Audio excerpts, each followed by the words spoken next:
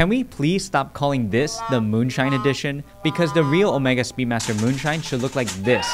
Now the name Moonshine refers to Omega's famous Speedmaster Moonwatch, but now with an 18 karat yellow gold case that basically won't fade in color over time, and you can definitely feel the heft of gold on the wrist. The classic step dial now has a sunbrushed green PVD dial with a matching green ceramic bezel and either with a green leather strap or gold bracelet. And inside is the Omega Master Chronometer caliber 3861, the latest addition to the manual winding Speedmaster movement. So now that we know the difference,